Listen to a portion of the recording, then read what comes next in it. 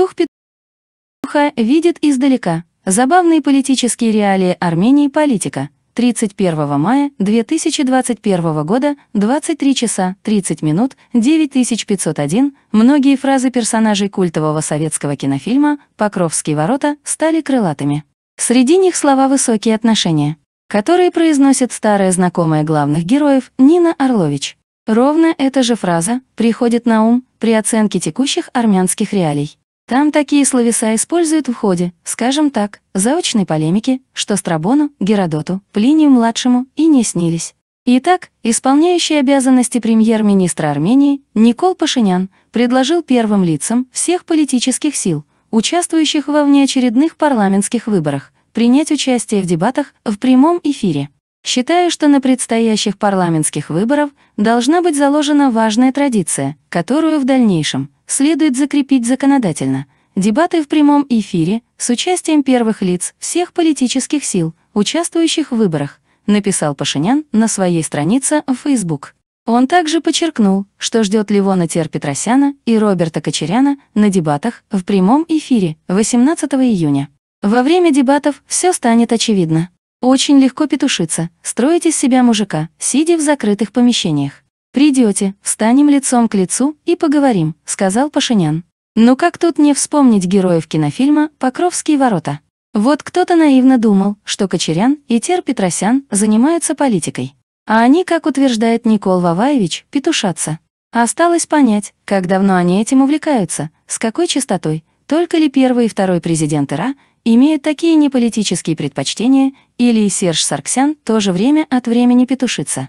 Если да, то пусть выйдут на митинги с флагами ЛГБТ, да и гей-парад в Ереване. Получается, давно пора проводить со всеми тремя экс-президентами этой страны во главе.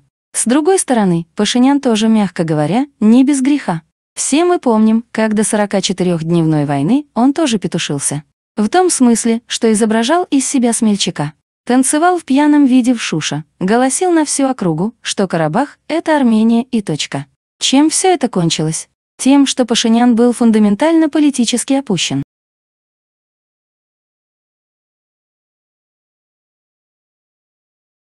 И вот они, армянские политические реалии.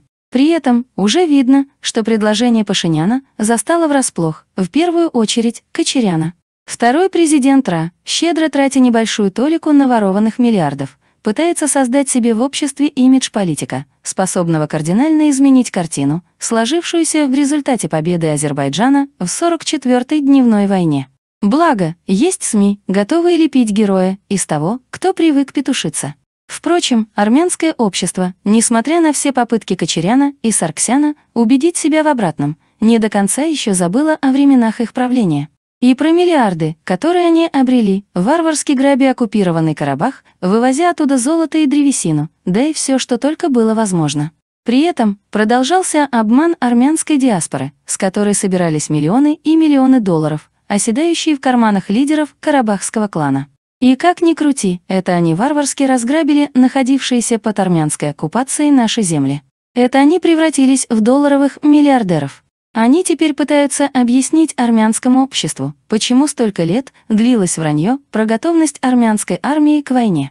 Пашинян в этом смысле действительно ни при чем. И именно потому он так уверенно приглашает на дебаты Тер Петросяна, Кочеряна и всех иных своих оппонентов.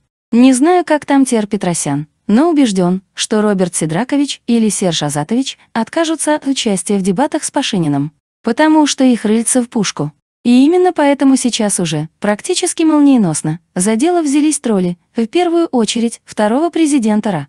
Они продвигают тезис о том, что победитель в войне не должен участвовать в дебатах с капитулянтом. Попутно озвучиваются мифы, легенды и периоде правления Кочеряна. Все это показывает, что петушится не только Сидракович, но и его окружение.